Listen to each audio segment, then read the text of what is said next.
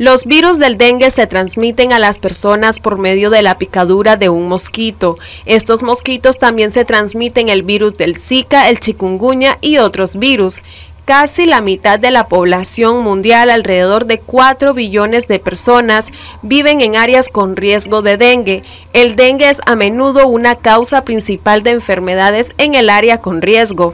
¿Qué debo hacer cuando tengo síntomas del dengue? Principalmente es acudir al centro de salud u hospital más cercano, ya que no nos debemos automedicar y debemos tener una adecuada valoración por un médico, ya que el dengue puede evolucionar a un dengue grave y complicarnos. El dengue es una enfermedad vírica transmitida principalmente por el mosquito Aedes aegypti, muy frecuente en Nicaragua ya que somos un país tropical y esto favorece la reproducción del mosquito.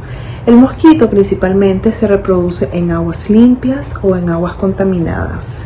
Los síntomas pueden variar desde asintomático o fiebre, dolor de cabeza, dolor en las articulaciones, malestar general, vómito, dolor abdominal, hasta recurrir al dengue grave.